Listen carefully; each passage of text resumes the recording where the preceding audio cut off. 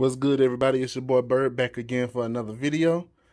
And tonight we will be cooking buffalo chicken pasta. So, I already got my chicken cleaned out. I already got the water boiling. First thing first, we're going to go ahead and boil this pasta. Now that we got our pasta boiling, about to go ahead and season this chicken with our New Orleans Cajun seasoning and slap your mama Cajun seasoning. Now that we got our chicken all nice and seasoned and whatnot, we're going to go ahead and put these babies in the air fryer for 380 degrees for 20 minutes. Okay, everybody, our pasta is done boiling. Our chicken is done cooking. So, the next step we're going to do, guys, after this, we're going to start making the magic. This right here, this precious moment is where the magic is going to happen. So, what we're going to do is, we're either going to use half a stick of butter, maybe the whole butter, you know. Let's use the whole thing. So, we're going to use a whole stick of butter. We're going to use that cream cheese right there we're going to use that heavy whipping cream and that garlic powder. And we're going to start making our Alfredo. Okay, so we already got the pasta drained. Now, typically, especially if you saw my video on the Cajun pasta, what I typically do is, at this stage, I go ahead, you know, cut the chicken up, put it in the pasta, but this pasta is going to be made a little bit differently than the Cajun pasta. Because in this step, we're going to go ahead and preheat this oven, y'all. That's right. This baby is going in the oven. So as soon as we go ahead and get that Alfredo uh, seasoning, I'm going to go ahead, put that in the pasta, put maybe a couple of pieces of this chicken, in this pasta, stir it up, add the Parmesan cheese, get a baking pan, and when I tell y'all the results of this gonna be is gonna be good, y'all just gonna have to sweet see to the end how this gonna look. So first thing first, let's preheat this oven to I say about 350.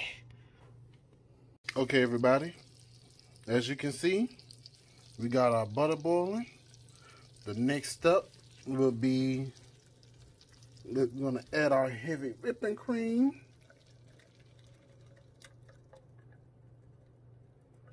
I hope that's not too much. You know, we black folk, we don't do too much measuring, you know what I'm saying? So, uh, I say that's about maybe a cup. Maybe more, maybe less. So we got that in add a little bit of our garlic powder. we have a special guest, Mr. Parsley. Add that up in there. And I'm going to try to do this with one hand, y'all. But I'm going to have to put this camera down. I think I do. But I'm going to have to add the cream cheese. Now, the best thing to do, guys, when it comes to cream cheese, make sure that it is room temperature. And that way, it's easier to melt. All right, we got our cream cheese in the mix. And now we're to go ahead and let that come to a boil. And I'm to show you guys what to do after that. Okay, everybody. Our Alfredo sauce is done boiling. We're to add a little bit of chicken. And I'm trying to do this one-handed, y'all. Add a little bit of the chicken. Just gotta do it like this, I suppose. And we're gonna add our buffalo sauce. If I get it focused. Now, as you guys know, I like my stuff a little bit on the hot side. But I'm not going to add too much of this. I'm going to try not to at least. Maybe a little. But, yep. Gonna go ahead and stir all of that in.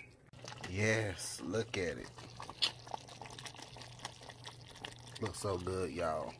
So what we're gonna do next, we're gonna pour all of this over our pasta. All that, yeah. Pour all that goodness into that pasta. We're gonna go ahead and mix all that up, y'all. Matter of fact, let me just move this onto right here so you guys can see.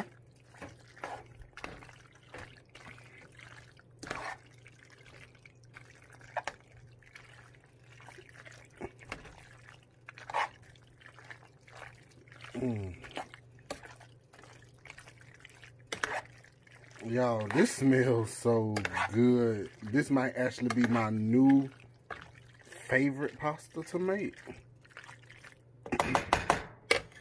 So, next thing we're going to do, and I'm going to do this off camera so you guys can see, we're going to go ahead and put this pasta, all this buffalo pasta goodness, put that in this pan, add some more of them little chickens, and I probably should have cooked a little bit more because y'all know I love chicken, so...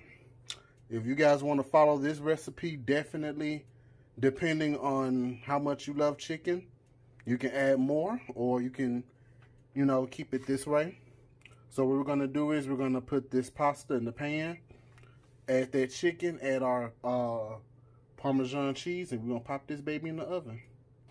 This is not all of the pasta. So I want to do half and half. Put half of the pasta in the pan put some uh, Parmesan cheese on it, over it rather. Then we're going to put the rest on top of that and put some more Parmesan cheese in it. Now, you don't necessarily have to use just Parmesan cheese. You guys can use like your favorite type cheese, you know, cheddar, you know, shredded. Any kind of cheese you guys want to use is perfectly fine. Okay, so we're going to add the rest of our Parmesan cheese up in there. Man, y'all, this is so much harder to do with just, you know, one hand. Wish my partner in crime could help me out with this. But it's all good. It's all good. We got this. so, as you guys can see, we're gonna head and add the cheese. Gonna add some more of this chicken. And like I said, y'all, and I wish I could do it now, but I can't. I wish I would have cooked more chicken. This is so unlike me. Because I used to go crazy for chicken. This is called buffalo chicken pasta. And it's like, not a whole lot of chicken.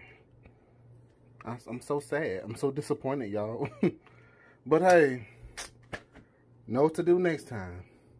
So, what I'm going to do is, I'm going to give this a little razzle dazzle buffalo sauce. I don't mind the buffalo taste, you know. gonna do it like that. And we're gonna pop in the oven 350 for about 10, maybe 15 minutes. Our pasta's starting to look good, y'all. So, what we're gonna do is, I'm gonna go and let that uh, broil for a couple of minutes. And we're gonna try to see how it tastes. I can tell you right now the way it smell y'all. I'm too ready for this. Mm. so what I did behind the uh, behind the scenes y'all I added some more of that uh, New Orleans Cajun seasoning on top y'all this looks so freaking good. Like, ooh, look good, smell good. I'm ready to sink my teeth into this. So, you know, we gotta go ahead and see. Ooh, cheesy, cheesy, cheesy, cheesy. Well, it could have went, you know, for another bag but hey, this is like my first time making it. I'm very pleased with this, y'all. Like, I know some things I definitely do different, especially like add more chicken, uh, add more cheese. But this is the recipe, y'all. So I'm about to eat all of this to myself. Well, maybe not. Probably uh, give some of this away because I know I can't kill this all by myself. But um, that's the recipe. Thank you guys for watching. Like, comment, and subscribe. Until we meet again, deuces.